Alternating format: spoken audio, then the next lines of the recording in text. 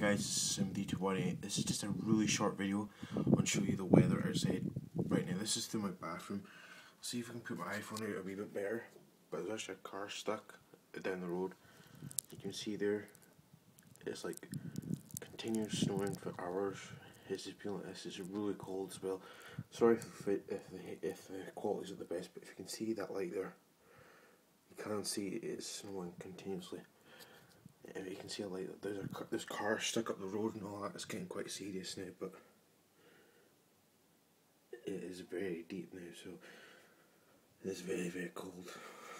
But um, yeah, just want to do a short video. I know it's dark, but I couldn't really do it my own because the lighting was very poor. But it's just a continued blizzard, and we've had lightning as well up here. It's pretty crazy up here where I am at the moment in Scotland. So, but anyway, guys.